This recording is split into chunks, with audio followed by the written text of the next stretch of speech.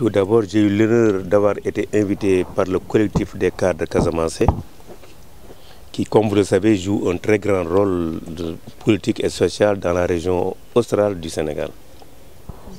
J'ai répondu à cette invitation autour du thème désenclavement fluvio-maritime de la région naturelle de Casamance. Donc nous avons commencé par, euh, par dire que l'expression euh, belle et verte région de, de Casamance, cela ramène au secteur primaire, à un secteur primaire qui regorge des potentialités agricoles, euh, aquatiques, euh, halieutiques. Par contre, ce secteur est dans un environnement plein de contraintes. De contraintes, la région naturelle de Casamance étant constituée de 60% d'eau. Quelles sont ces contraintes? 60% d'eau.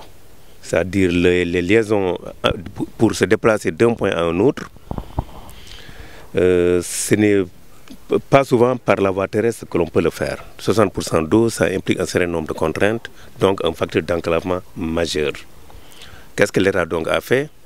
L'État a décidé de s'attaquer, de, de, transformer ces contraintes naturelles en avantages naturels, en agissant par le biais du secteur que l'on qualifie généralement de secondaire. C'est ça qui a amené le dragage du fleuve Casamance. La première contrainte, c'est qu'à l'embouchure, vous avez 3,20 mètres au zéro des cartes, ce qui limitait le tirant d'eau des navires à, à 4 mètres maximum avec la marée. Même les navires à l'université Diata, Agen et Djambogne avaient des difficultés pour passer. Ils attendaient la marée pour, pour avoir 1 mètre d'eau de plus. Ce n'est plus le cas aujourd'hui depuis que le fleuve a été dragué à 7,50 m sous le zéro des cartes. Zéro des cartes, ça veut dire qu'en n'importe quelle situation, vous avez 7,50 m. Donc aujourd'hui, les grands navires peuvent arriver à Jiganshore, draguer et baliser. Aussi le projet de port de pêche de Boudodi, qui va permettre à beaucoup de navires de pêche de venir à Jiganshore et de gagner 3 jours sur Dakar. 3 jours de mer, ce n'est pas rien dans un compte d'exploitation annuel.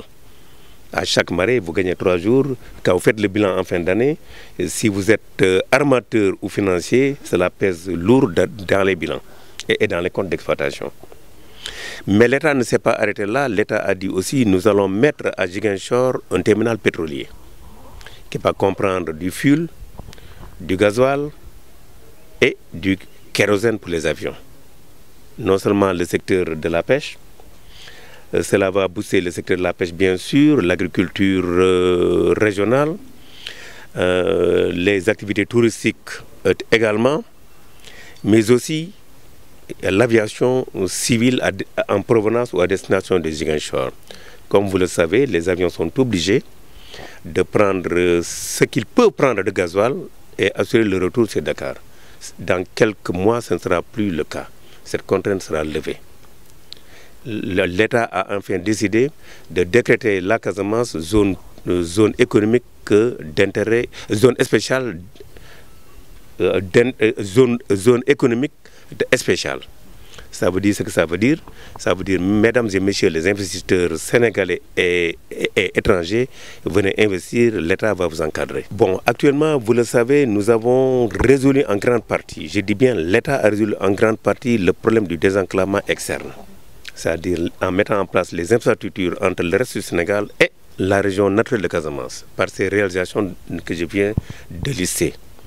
Mais l'État a aussi un autre projet, celui d'assurer le, le, désenclavement interne à la Casamance.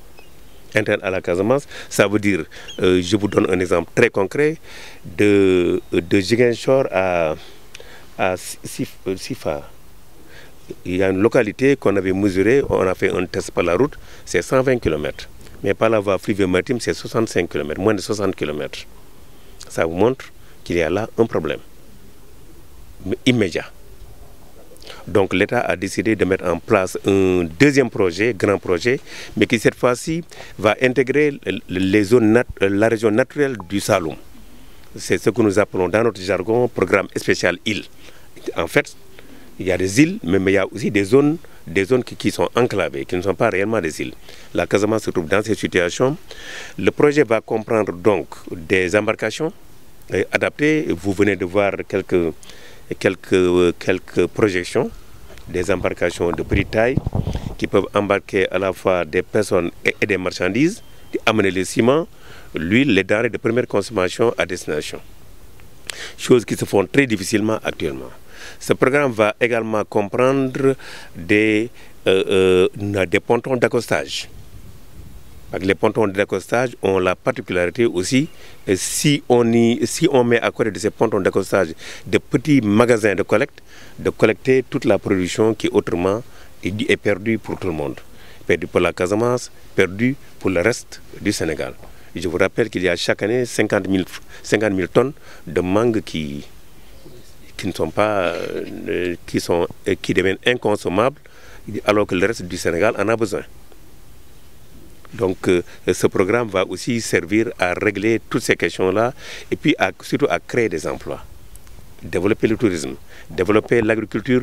Bon, euh, le, euh, le, citoyen euh, de la région naturelle de Casamance saura désormais que quand il produit, sa production peut atteindre le reste du Sénégal où il en a besoin. Dans l'exposé que Magui vient de faire, oui. il, il, a, il, a, été question d'un problème récurrent pour la région de, de, de, de Sédou pour le problème d'enclavement. Oui. Le premier beaucoup plus récurrent dans la région de Sédou. Je veux savoir quelles sont les solutions qui sont préconisées pour euh, sortir les populations de cette zone, de cette, de cette C'est pour ça que l'État nous a instruit euh, pour la région naturelle de la Casamance, y compris la région de Sédou, de mettre en place, euh, de l'intégrer dans le programme spécial île. Nous les considérons comme île et zone enclavée. Sédhiou, comme Maguel l'a dit, toute l'économie de Sédhiou est tournée dans, euh, euh, de cette localité est tournée à Giguinchor. Simplement parce que, euh, parce que les, distances, il n'y a pas de lien de communication directe entre, entre, entre cette région-là. Il est plus facile de l'allier économiquement, je ne dis pas politiquement, ni administrativement, l'allier économiquement à Giguinchor qu'autre chose. Donc le programme spécial île va lever cette contrainte en mettant en place des infrastructures adaptées et adaptées au milieu aquatique ainsi que des moyens de transport adaptés. Donc Sédhiou, Afignam, c'est tout un ensemble qui est en train d'être configuré et qui doit faire l'objet prochainement d'une proposition à notre ministère de tutelle, le ministère de la Pêche et de l'économie maritime.